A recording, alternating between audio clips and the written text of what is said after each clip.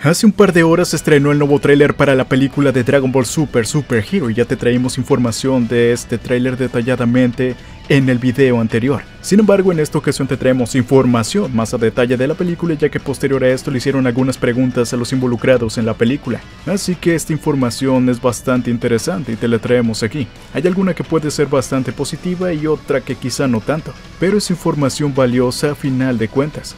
Así que para comenzar, sí, la película es completamente en CGI aparentemente, al menos hasta el punto que se mostró el tráiler y no parece que vaya a cambiar para nada.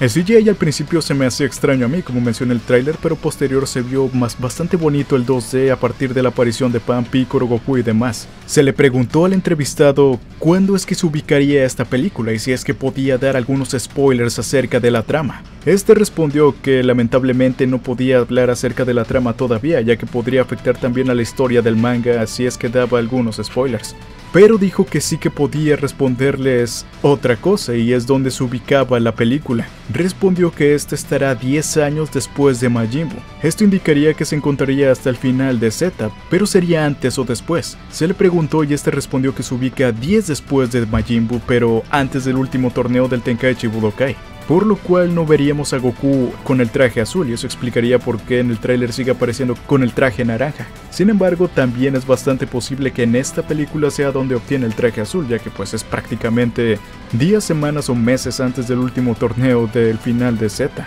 Cosa que también de hecho hace que con los diseños y la aparición de Bulma hagan ya completamente imposible esa frase de Bulma del final de Z, de decir que no se han visto en 5 años. Ya, está completamente borrado eso de la historia de Dragon Ball, ya que se vieron durante toda la saga de Moro y ahí ya se les acabó el tiempo que daban para el final de Z donde no se veían. Y ahora en la saga de Granola seguramente también pasarán meses. Y ahora en esta película pues ya, ya, borrado para siempre de la memoria colectiva. Eso nunca pasó.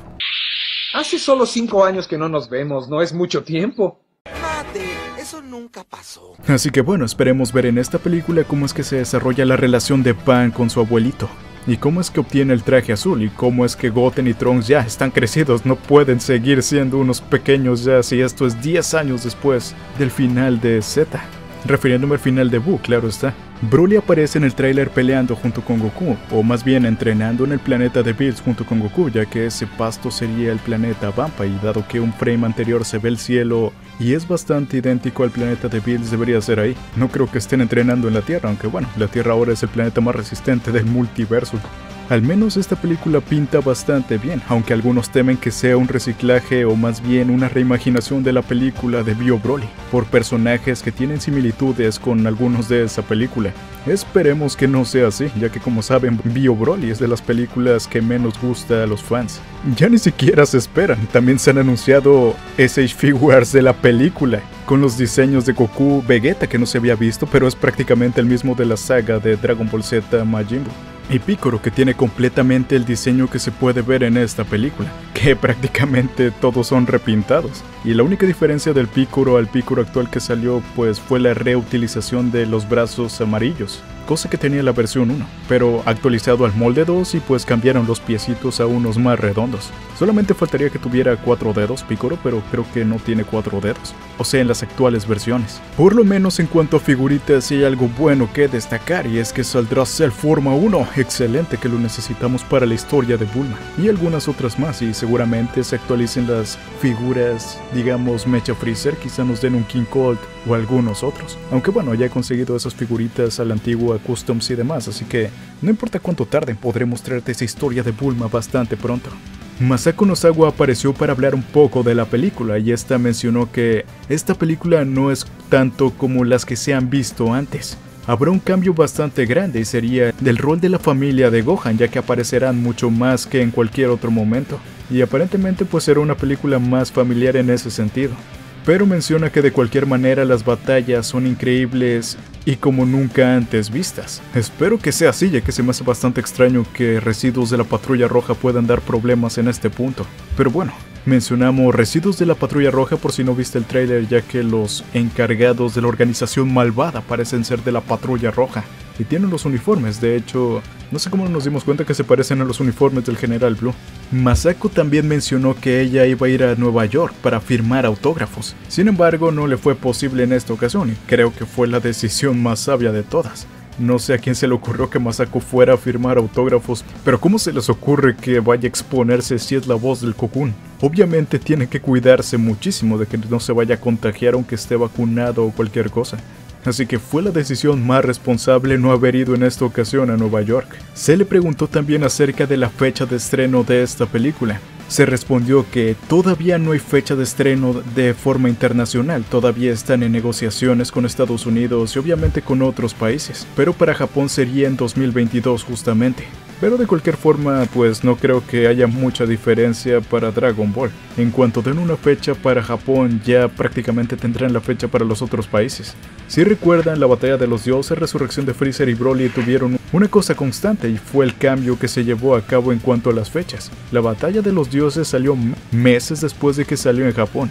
La resurrección de Freezer estaba planeada que saliera igualmente meses después, pero debido a las quejas de los fans de que era absurdo que saliera tan después ya que la verían pirata, entonces Fox decidió adelantarla y salió apenas creo que un mes después que en Japón, cosa que fue súper rápido comparado con los 6 meses o 5 que tardó la batalla de los dioses. Y la película de Broly pues prácticamente salió semanas después que en Japón, así que esta imagino que también debería ser semanas después de en Japón.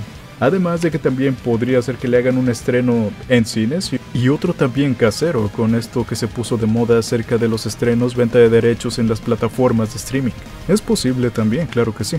Eso pasó con Sailor que también es de Toei. Además de que según se mencionaba, había una pelea por los derechos ya que están viendo las plataformas que el anime vende demasiado. Por ejemplo, con Amazon que compró los derechos de Evangelion y las suscripciones aumentaron muchísimo para ver esa película. Y tanto anime que han estado agregando. Sin duda alguna es la época en la que el anime es de las cosas más vistas a nivel mundial. Ya no podrán patear otakus tan seguido. Los nombres de los personajes antagonistas o villanos, no sé si van a ser villanos o no, serían Gamma 1 y Gamma 2, esos que parecen tiburón. Espero que no salgan que son como clones androides del cel o algo por el estilo.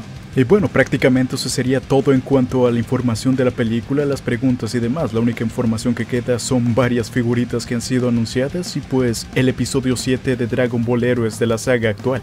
Esto menciona, después de haber derrotado a Goku Black, el Saiyajin Escarlata, Goku escapa del universo falso, pero hay un enemigo ahí. Fu, ahora una vez más tendrán una pelea bastante fiera. ¿Cómo es que podrán enfrentar a este Fu? Pues bueno, el dúo milagroso aparecerá aquí y además se puede ver a Gogeta y el otro Gogeta apareciendo en el logo principal del 11 aniversario, así que probablemente sean un par de Gogetas contra este Fu. Así que bueno, esta sería toda la información que traemos de momento. Espero te haya gustado el video. Si es así, no olvides dejarnos tu like, compartir y comentar. Suscríbete si no lo estás y así no te perderás ningún nuevo video relacionado con el universo Dragon Ball y variedad más. También puedes pasar a los canales secundarios, canales de memes que estarán en el comentario fijado, plataforma moradita que estará en la descripción del video, y seguirnos en Twitter para ver todas las actualizaciones que te traeremos de esta nueva película. No olvides activar la campanita también. Y nada, un abrazo con cariño de la nueva y hasta la siguiente. Los quiero. Chao.